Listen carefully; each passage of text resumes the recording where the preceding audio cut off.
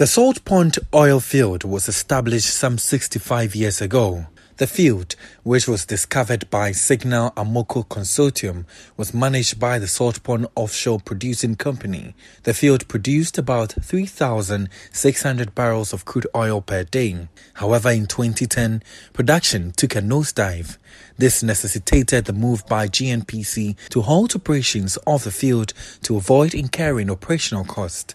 This meant that the rig used for the production of the oil had to be decommissioned. The former Minister for Energy, John Peter Amewu, attempted to decommission the rig in 2019, but the rig remains in 2021. It has been in a, such a bad state and in the waters for so many years. Um, the rig has rusted, and um, we fear that there could be a very bad uh, environmental um, incident or disaster very soon if nothing is done. The reason is that normally when you have a producing well and there's no more um, oil being produced from these wells, what happens is that you go uh, you go into the subsea and cap that well and then leave it. The Institute of Energy Policies and Research is concerned about the situation. If you have even 100 barrels of crude oil gushing up into the sea every day, that's going to be a problem. Then you look at the gas that will come out from these wells, which could spark fire and it could be a disaster. The rig, which is not safe, have staff of GNPC on there and their lives, even if one person dies as a result of a disaster, that's a loss of life that is not necessary.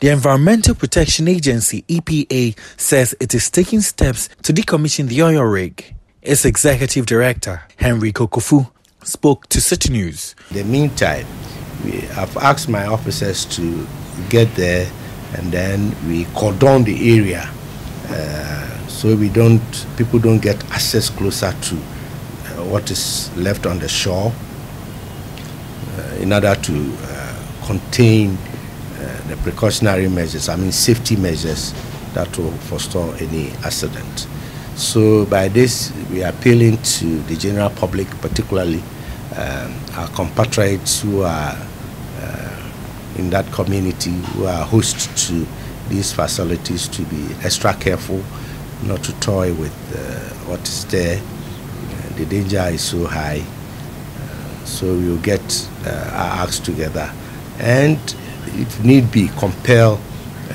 GNPC to speed up the decommissioning processes.